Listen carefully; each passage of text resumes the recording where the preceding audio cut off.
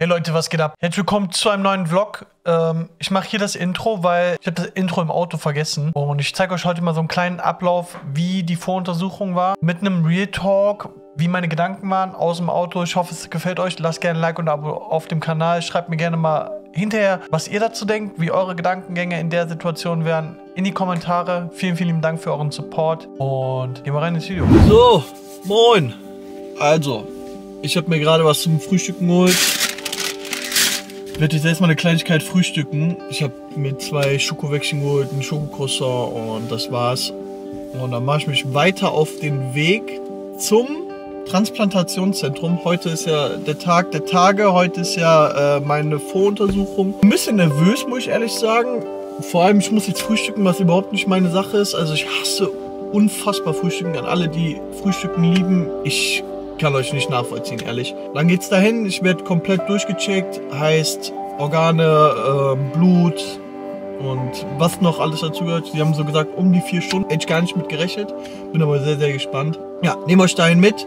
Würde ich jetzt mal frühstücken und dann wünsche ich euch viel Spaß beim Vlog. Und wenn ihr Fragen habt, immer raus damit. Vielleicht kann ich auch was das Transplantationszentrum kurz vorher fragen. Ich hoffe, dass ich da drin filmen kann. Wenn nicht, sehen wir uns danach. Ne? Aber jetzt erstmal ab nach Köln.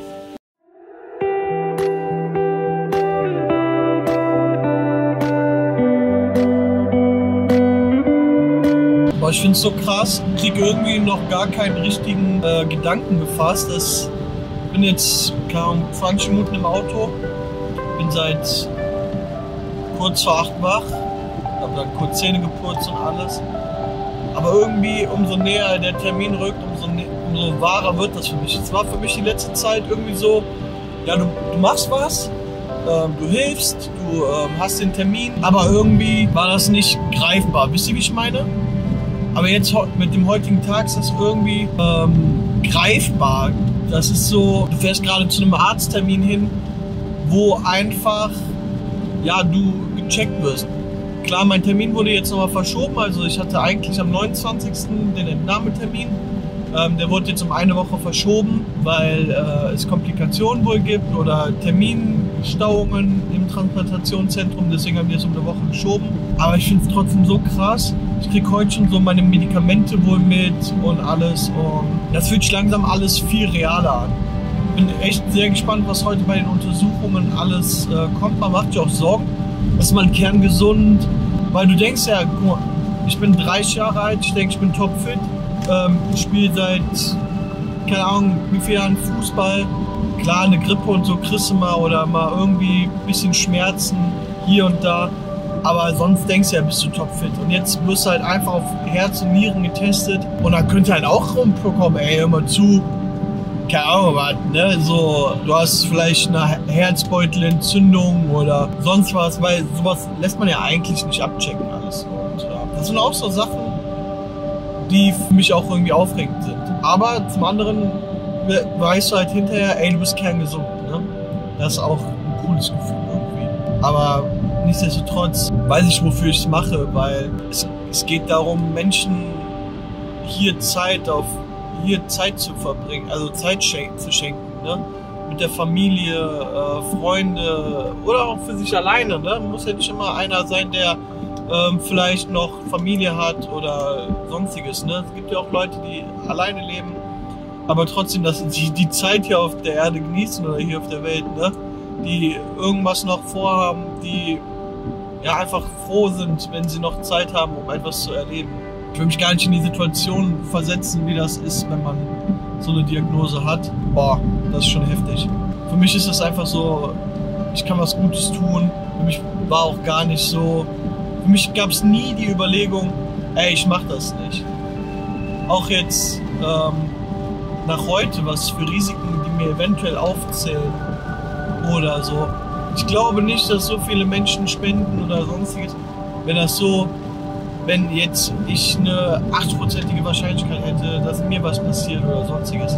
Ich glaube, wir sind alle so gut gesichert und ähm, auch von den Ärzten hier in Deutschland, dass uns nichts passiert. Und andererseits bin ich auch sehr stolz darauf, einer von so wenig Menschen zu sein, die die Chance haben, so etwas zu tun. Das ist schon krass. nichtsdestotrotz geht einem ja auch immer so die, die Verantwortung durch den Kopf. Aber zum Beispiel so Karneval oder so mit Corona, was ja jetzt nochmal gut aufgeploppt ist. Deswegen, dieses Risiko würde ich nie im Leben eingehen, weil ich einfach diese Verantwortung den Menschen gegenüber verspüre. Wisst ihr, wie ich meine? Da werde ich auch jetzt kurz vorher oder die Wochen, jetzt die nächsten, die zwei, drei Wochen vorher, werde ich auf jeden Fall sehr auf mich aufpassen. Ich werde auch selber mit Maske noch rumlaufen und alles. Das sind so Sachen, die auch in meinem Kopf rumschwimmen. Aber das ist krass. Ich fühle mich irgendwie unruhig, nervös, aber nicht so. Also ich weiß, wie ich mich fühle, wenn ich mich, wenn ich nervös bin, weil vom Fußball. Aber vielleicht auch dieses, vielleicht ist diese Nervosität, die ich gerade verspüre, auch die, die ich nicht kenne, weil ich nicht weiß, was auf mich zukommt. Ne? Ich fahre jetzt nach Köln, ich weiß, wo ich hin muss, aber was dann kommt, weiß ich nicht. Ich werde ein ärztliches Gespräch haben, ich werde Untersuchungen haben, die haben mir ungefähr einen Zeitrahmen genannt.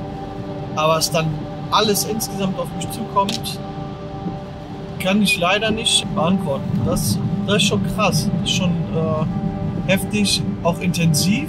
Ich glaube auch, ich habe die letzten paar Tage so schlecht einschlafen können. Ich habe das gar nicht so wahrgenommen, dass ich ja, dass mich das so, sag mal, beschäftigt oder dass ich ähm, Anspannung verspüre. Aber unterbewusst, glaube ich, ist, bin ich schon sehr damit äh, am Arbeiten und bin mir der Verantwortung sehr bewusst, was, was mir dann der ein oder andere, die eine oder andere nervöse Nacht oder Nacht, wo ich nicht so gut einpennen kann, äh, verschafft. Aber nichtsdestotrotz ist es einfach was krass Gutes und hinterher, oder ich fühle mich auch jetzt schon gut. Ja, ich hoffe, dass dass ich das Bestmögliche für die Person bringen kann. Und das ist auch mein Anspruch an mich selber. Ich bin jetzt gleich in Köln. Und dann geht's weiter. So. Ähm, mal pinkeln. Hab gerade einen Fragebogen ausgefüllt, bin noch gerade auf Toilette, weil da drin kann ich nicht filmen, weil da sind noch so viele Leute. Ja, bin gespannt. Immer mehr äh, Fragebögen. Ähm, ich glaube, ich habe diesen Fragebogen mit meinen Krankheiten jetzt sechsmal ausgefüllt. Jetzt gleich geht's zur Ärztin. Ich bin gespannt. Ich werde mal fragen, ob ich filmen darf. Peace out. Leider konnte ich nicht von der Untersuchung so viel machen. Deswegen hier aus dem Raum, einen Tag später. Ich brauchte einen Tag, um einfach das ganze Ding so ein bisschen zu verarbeiten. Es war echt, äh, ja, viel. Also es war echt viel, was ich da noch erlebt habe. Also ich fühlte mich an dem Tag irgendwie danach echt sehr gerädert. Ich war sehr froh, dass ich danach nach Hause konnte, habe mich in die Badewanne ge gelegt, hab ein bisschen relaxed, hab ein bisschen Netflix geschaut, ein bisschen YouTube, um einfach auch runterzukommen, um das zu verarbeiten. Obwohl es eigentlich gar nicht so viel war. Also ich kann schon mal sagen, was so beim Arzt war. Die haben mir Blut abgenommen, was kein Thema war. Ich habe einen Fragebogen nochmal beantwortet, was auch kein Thema war. Weil ich habe den Fragebogen, glaube ich, schon fünfmal vorher ausgefüllt. Hab den jetzt nochmal ausgefüllt mit denen. Hab ein Aufklärungsvideo gesehen. Ja, da wurden mir die ganzen Risiken und die ganzen Sachen, die durch die Medikamente entstehen können, aufgezeigt. Die habe ich durchgelesen. Ja, das macht einen auch ein bisschen Angst, bin ich ehrlich. Ich habe ein bisschen, ähm, ja, res also Respekt, sagen wir nicht Angst, Respekt davor, weil es halt schon auch was passieren könnte, weil es ja nicht durch mich entsteht, aber selbst wenn mein Körper das selber produziert, weiß man ja nicht, wie der Körper darauf reagiert. Deswegen, ja, bisschen nervös, sagen wir mal. Und das hat mich so ein bisschen beschäftigt. Aber wie gesagt, die Untersuchungen waren sonst okay. Blut abgenommen. Die haben meinen ganzen Bauch, meine Leber, Niere, Herz, Milz, alles mit einem Ultraschall ähm, geguckt, ob alles gut ist. Die haben Fotos gemacht, damit die halt Vergleichsgrößen haben, haben mir gesagt, was hinterher ist. Also ich muss vier Wochen später auch nochmal Blut abnehmen, um meine Werte zu kontrollieren. Ähm, meine Milz wird nochmal dann anschließend kontrolliert, wie ich die Transplantation oder das Spenden vertragen habe. Und das war es eigentlich. Also es ist wirklich nicht schlimm, diese Voruntersuchung. Die ist eigentlich easy peasy. Die da, hatten erst gesagt, vier Stunden, ich war nach zwei Stunden durch. Ähm, die Untersuchung an sich ging gar nicht so lange. Ich glaube, ich war in dem Besuchungsraum eine halbe Stunde oder äh, Untersuchungsraum, nicht Besucherraum, Untersuchungsraum, eine halbe Stunde, dreiviertel Stunde, wenn überhaupt. Dann wurden mir die Medikamente erklärt. Ähm, ihr habt ein Bild von den ganzen Medikamenten, die ich jetzt äh, mitbekommen habe. Sieht mehr aus. Ihr wisst ja immer, Verpackung sieht riesig aus. Ähm, dann kriegst du deinen Spritzplan. Ich muss mir morgens doppelte Dosis geben, abends eine einfache Dosis.